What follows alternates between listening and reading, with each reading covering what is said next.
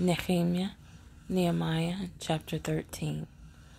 On that day was read from the book of Moshe in the hearing of the people, and then it was found written that an Ammonite and Moabite should not come into the assembly of Elohim forever, because they had not met the children of Israel with bread and water, and hired Balaam against them to curse him, although our Elohim turned the curse into a blessing.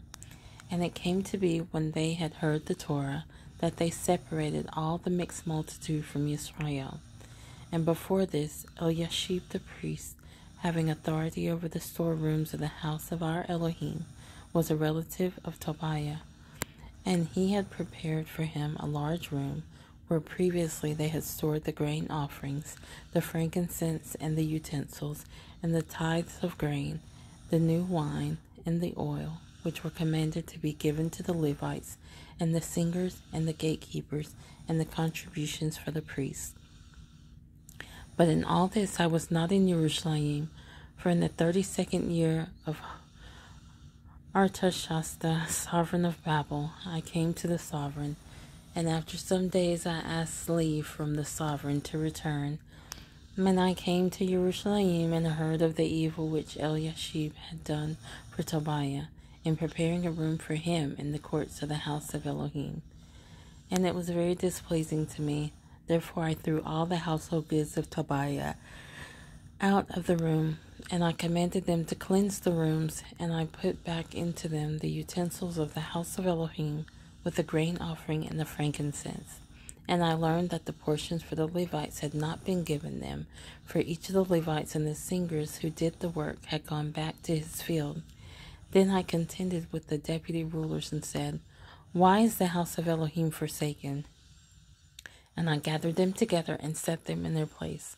And all Yehuda brought the tithe of the grain and the new wine and the oil to the storehouse. And I appointed as treasurers over the storehouse Shelemiah the priest, and Sadok the scribe, and Pedaiah of the Levites. And at their hand was Hanan, son of Zaccur, son of Mattaniah, for they were reckoned trustworthy. And it was on them to distribute to their brothers. Remember me, O my Elohim, concerning this, and do not wipe out my loving commitments that I have done for the house of my Elohim and for its charges. In those days I saw in Yehuda those shredding wine presses on the Sabbath and bringing in sheaves and loading donkeys with wine, grapes, and figs, and all kinds of burdens which they brought into Jerusalem on the Sabbath day. So I warned them on the day they sold food. And men of Tsor dwelt there, bringing in fish and all kinds of goods, and sold them on the Sabbath to the children of Yehuda and in Jerusalem. Then I contended with the nobles of Yehuda and said to them, what evil matter is this that you are doing, profaning the Sabbath day? Did not your fathers do the same so that our Elohim brought all this evil on us and on this city? Yet you bring added wrath on Israel by profaning the Sabbath.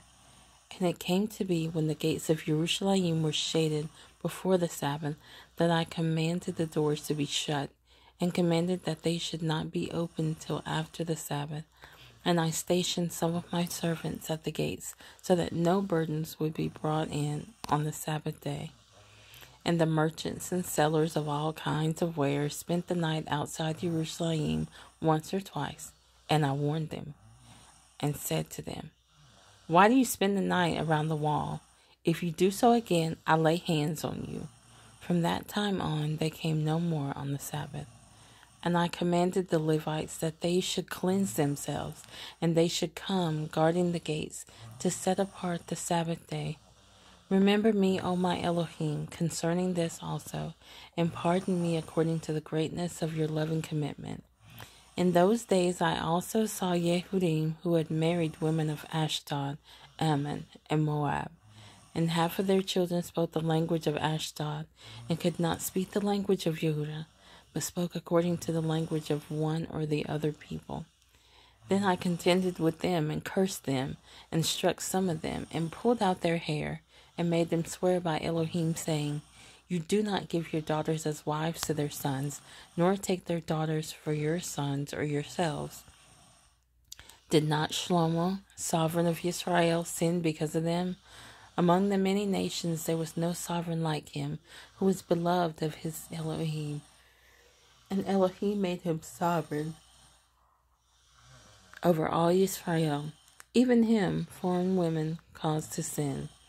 Should we then hear of your doing all this great evil, trespassing against our Elohim by marrying foreign wives?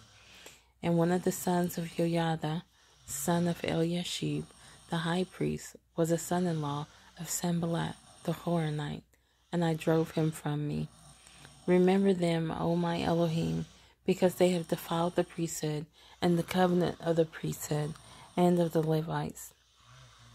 Thus I cleansed them from all that is foreign, and I appointed duties to the priests and the Levites, each in his task.